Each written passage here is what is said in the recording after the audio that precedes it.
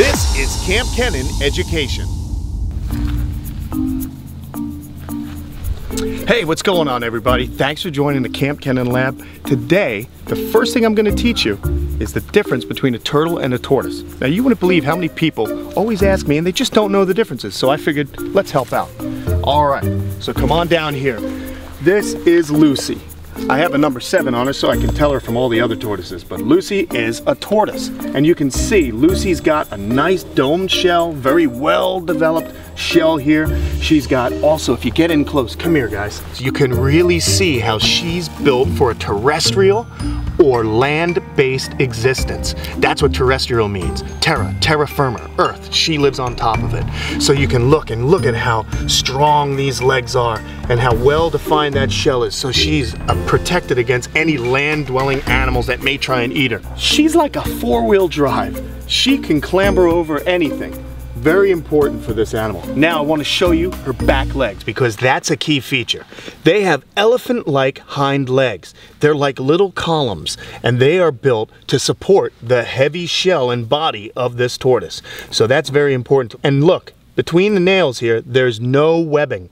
These guys don't swim. Now let me show you a turtle so you can really see the differences. And this one's trying to swim away from me, but that's not going to happen. So you can see the nice streamlined shell. That's made for cutting through the water. These are very fast swimmers. This here is a peninsular cooter. They live in Florida.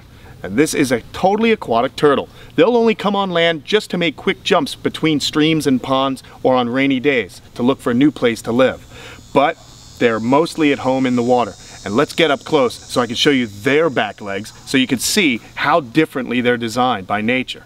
Look at the webbing in between the toes. Now you can guess what that's for, right guys? It's for swimming, exactly. And that's what they do very well. They don't have the same foot as a tortoise. They got that nice webbed foot and that propels them through the water. And because of all those different adaptations between tortoises and turtles, there's one more difference. Tortoises stay on land. Turtles, they like to swim.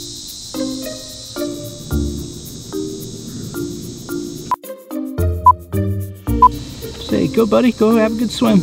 All right, buddy. Get back in that water. One more. What do you mean one more? what do you mean one more? How do you do one more when a turtle goes in a big pond? Get him. Are you serious? Here we go, let's just do it. All right, buddy, get back in there. He's been three-legged. Go. All right, buddy, go on.